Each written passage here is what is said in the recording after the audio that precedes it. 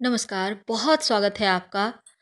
दोस्तों, माता रानी की कृपा होना अपने आप में एक बहुत ही चमत्कार है और जीवन में अगर माता रानी की कृपा हो जाए तो उससे ज़्यादा मनुष्य को क्या चाहिए?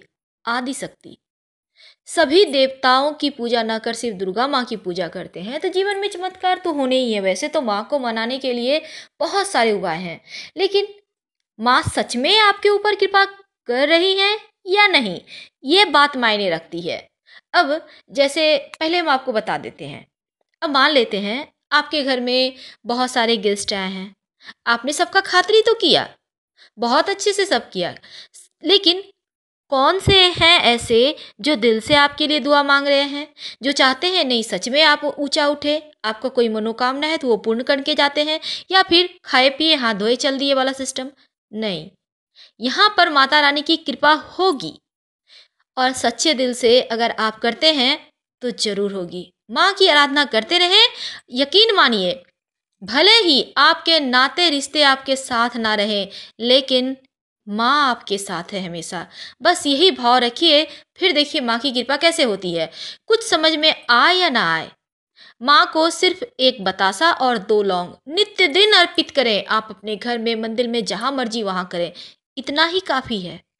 और पूरे नवरात्रा में सिर्फ़ एक दिन गुड़हल का पुष्प, यानी लाल लाल गुड़हल का पुष्प होता है ना, जो मैया को अर्पित होता है, बस उसकी माला, पुष्प जितनी हो, वो आपकी इच्छा पर है।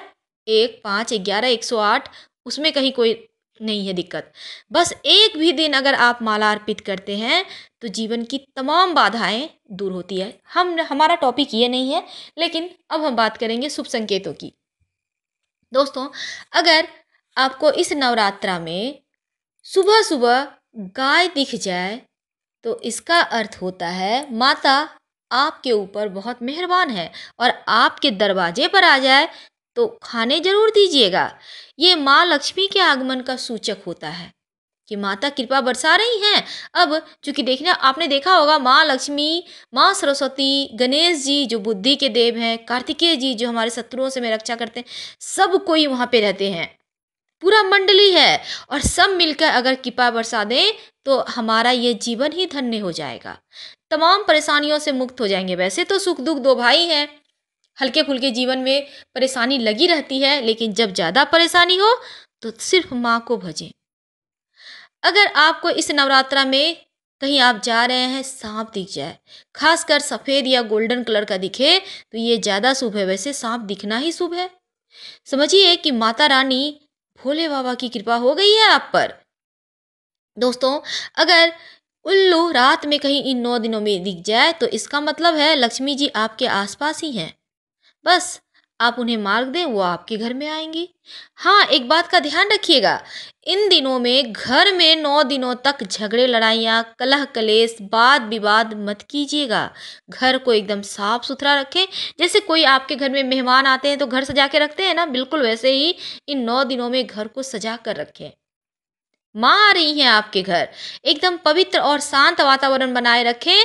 संभव हो तो कपूर जलाकर पूरे घर में दिखाएँ, आरती करें माँ की सुबह शाम।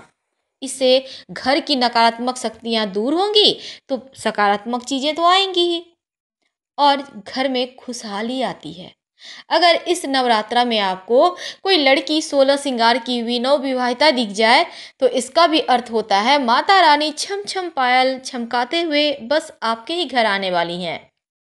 कमल का पुष्प, नारियल, इन सभी चीज़ों का दर्शन होने का मतलब ही होता है, माँ की कृपा बरस रही है।